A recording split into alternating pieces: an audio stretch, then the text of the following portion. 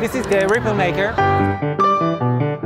Using the Ripple Maker, we allow any coffee serving location to print on top of the foam any text or image they want. The process is very simple. Using the app, you can find Ripple Makers in your neighborhood. I click the Create a Ripple button. I choose the image I want, a photo from the library. There we go. And now I click the Ripple It button. It shows me a list of coffee shops in my neighborhood where I can pick up my rippled coffee and I confirm it. And now the image is sent from the phone to the appropriate device at the coffee shop. Take my cup of coffee, put it under the machine and ripple it.